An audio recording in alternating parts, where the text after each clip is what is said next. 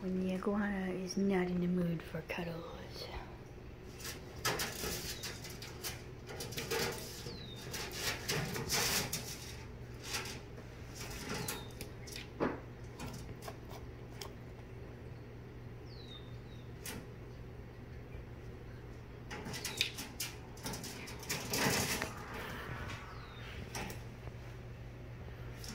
Nyonya Becky.